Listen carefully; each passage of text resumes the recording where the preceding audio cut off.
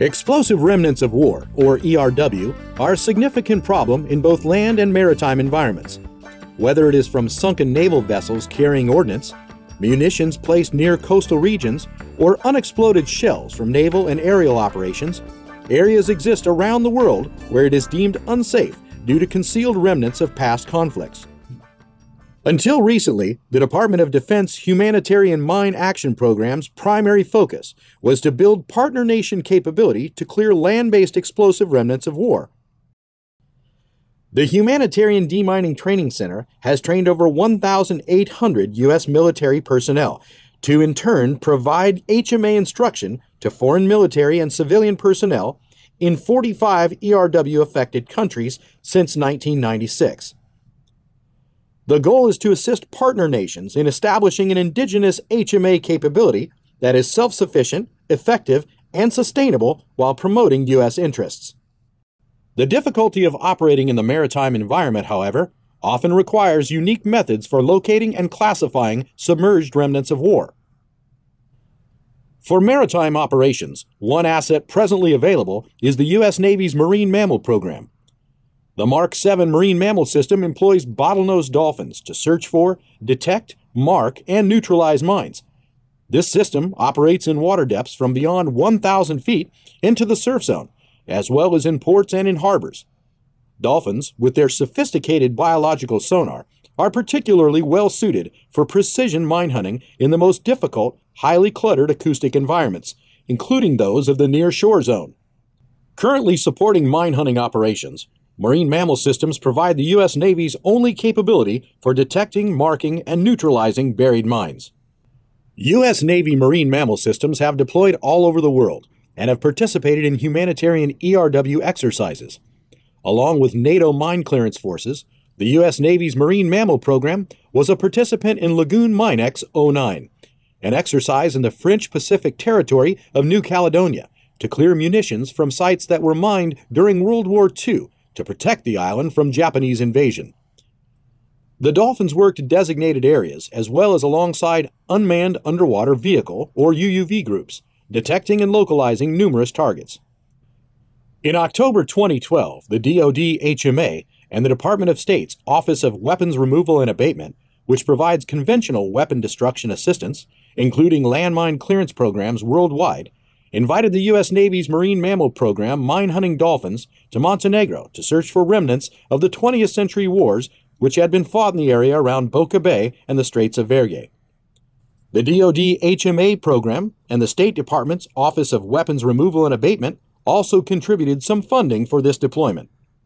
The area you see behind me is known as Boca Bay. It's in the small Adriatic nation of Montenegro. While Montenegro is still a fairly new country, it's seen its fair share of armed conflict. As a result, there are areas in these waters that still contain the explosive remnants of warfare. It's for this reason that the U.S. Navy's Marine Mammal Program was selected to be an important member of Exercise Dolphin 2012, along with divers from Explosive Ordnance Disposal Unit 1 in San Diego, California, members of the Slovenian and Croatian military, and of course our partners from the Montenegrin Navy We've been tasked with identifying the location of these difficult to find objects. For Dolphin 2012, six mine hunting dolphins transported from San Diego to Tivat, Montenegro on a U.S. Air Force C 17 provided by the 729th Airlift Squadron. Upon arrival, the animals were housed in floating enclosures at Porto Montenegro in Tivat. Technical and veterinary support for the Marine Mammal Program is provided by civilian experts from the Biosciences Division of Space and Naval Warfare Systems Center Pacific, based in San Diego, California. The civilian trainers, veterinarians, and veterinary technicians train as human dolphin teams and transport with the animals to work in operational areas. Once on site in Montenegro, the animals and their human teammates started working in designated areas, searching for remnants of past wars.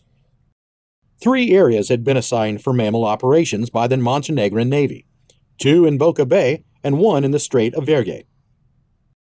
Dolphins are transported to the work area in the small boats like the ones you see behind us. They ride in a soft rubber pad and then are placed in the water to begin their search operations. Once in the water, they'll be transferred over to control in another small craft. The dolphin will search the areas in front and adjacent to the boat When the dolphin discovers an item of interest, he'll touch a small paddle on the side of the boat, alerting the operator that there's an item of interest.